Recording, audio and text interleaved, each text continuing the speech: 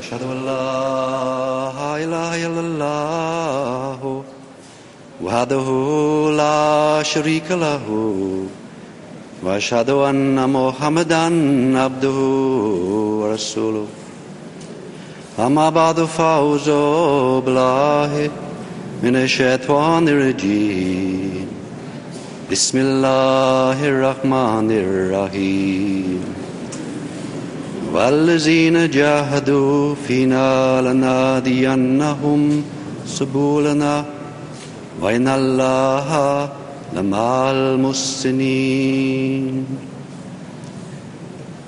And as for those who strive in our path, we will surely guide them in our ways. And verily, Allah is with those who do good. The Arabic word jihad appears in this verse of the Holy Quran, and the word strive has been used in its translation into English. The word jihad is a relatively short word, but it has such huge implications within an Islamic society as a whole, and especially the daily life of an individual Muslim. Jihad, as ordained by Islam, does not consist of killing and being killed, but in striving hard to win the pleasure of God. Individually and collectively, jihad is essential for the advancement of our souls. It does not for one moment mean that we are ever ready to pick a fight or wage wars. Nothing could be further from the truth and reality. The word Islam means peace, and all our efforts and energies should be spent in creating peace and harmony amongst ourselves, our communities, and society at large. According to the Oxford English Reference Dictionary, the meaning of the word jihad is given as holy war. It states that a jihad may be undertaken to defend Islam against external threats or to spread religion among non believers. Holy and war are words definitely not synonymous with each other. In fact, they are at odds with each other, there is nothing holy about the effects and horrors of warfare. It is very unfortunate in this day and age that the word jihad has been so misinterpreted by the Western nations, and in particular their media.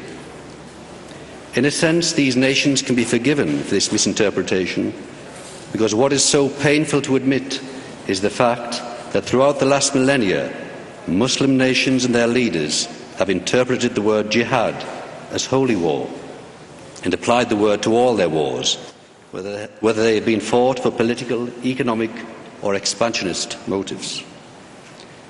As a result of this misnomer, the religion of Islam has been wrongly accused of procuring converts to the faith by forceful or belligerent means. The word jihad has been used in two senses in the Holy Quran. Jihad fi sabilillah, that is striving hard in the cause of Allah, and jihad fillah, striving hard in Allah.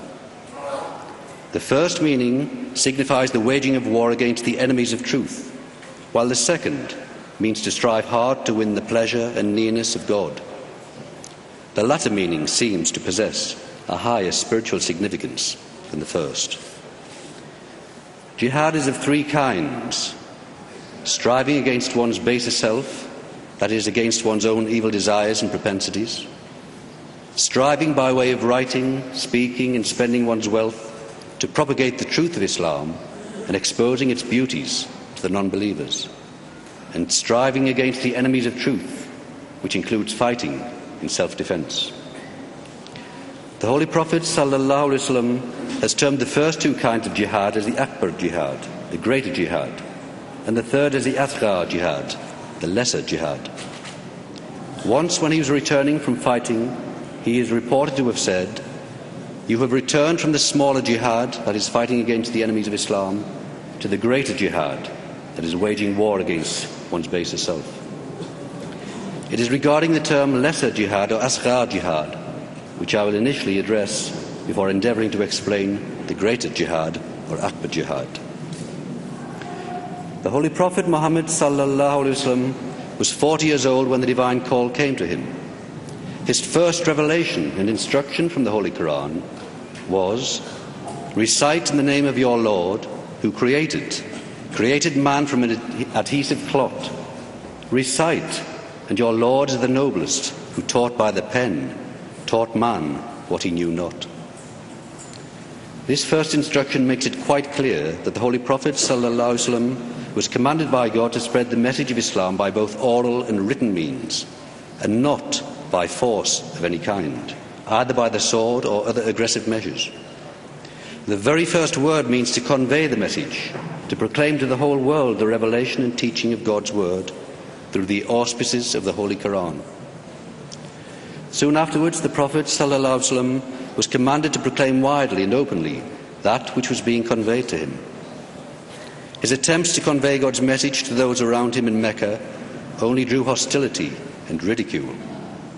Four persons believed in him from the very first, and when this became known to the Meccans, they began to laugh and mock. As more verses of the Holy Quran were revealed, more people became interested and drawn to this new message, especially the young, the weak, and oppressed of Meccan society. Women, especially, were drawn to this new religion, as it offered them both dignity and honour amongst their fathers, their husbands, and their sons, something which they had never experienced before, as in most respects they were treated worse than animals. The continuing success of the Holy Prophet وسلم, brought about a backlash against him and the early converts. The Meccans embarked on a course of persecution which grew more cruel and more savage as time passed. They were afraid that the new religion would become firmly established and that their own religion and culture would be ruined. Out of this fear, it was the Meccans, the disbelievers, who drew their swords and took delight in slaughtering the true and faithful servants of God over a long period. The streets of Mecca became red with the blood of the Muslims, but they did not retaliate. Their humility and steadfastness encouraged their persecutors to be even crueler, and they subjected the Muslims to more extreme modes of torture and floggings. Many parents had to endure the sight of their children being slaughtered before their very eyes, and some parents were crucified in front of their own children. So, what made these people accept the Holy Prophet? A man who at the time was without power or wealth. He certainly did not wield a sword to compel them to accept him and his message. The only sword the Holy Prophet possessed was the sword of the Holy Quran, a spiritual sword, a sword of truth, the blade of which each convert was willing to be smitten by. Such was the beauty the glory and magnetism of Islam and Muhammad who practiced and preached Islam, who oozed goodness and love, that they willingly gave their lives to its cause. However, it was the Meccans, and especially the tribe of Quraysh, who raised their physical swords to attack the Muslims in order to compel them to return to their old religion and customs. After the migration of the Holy Prophet وسلم, to Medina, the cruelties of the unbelievers from among the Quraysh exceeded all bounds. They started to murder those helpless converts left behind in Mecca, including women and orphan children. Although the Prophet ﷺ and many of his companions had migrated to Medina, they too were not left in peace. They were continuously harassed in that place also. By this time, the emerging religion of Islam was surrounded by enemies on all sides and was threatened with complete annihilation. In this regard, the first commandment, designated as jihad, was revealed to the Holy Prophet. (Sallallahu alaihi wasallam). It states, Permission to fight is given to those against whom war is made, because they have been wronged, and Allah indeed has power to help them. According to scholarly opinion, this is the first verse that gave Muslims permission to take up arms in self defense. The verse lays down principles according to which Muslims can wage a defensive war. It clearly sets forth the reasons which led a handful of Muslims without arms and other material means to fight in self defense after they, have, after they had suffered with great restraint ceaseless persecution in Mecca for years and had been pursued with relentless hatred to Medina, where they were continuously harassed and harried. The primary reason the Muslims gave now for taking up arms was that they, that they had inferred that they had been wronged. They had suffered untold persecution, and war was actually forced upon them. The very next verse of the Holy Quran also lends support to this inference, in that it states that permission to fight was given after the Muslims had been driven out of their hearths and homes. It states, Those who have been driven out from their homes unjustly, only because they said, Our Lord is Allah, and if Allah did not repel some people by means of others, there would surely have been destroyed cloisters and churches, and synagogues and mosques, where in the name of Allah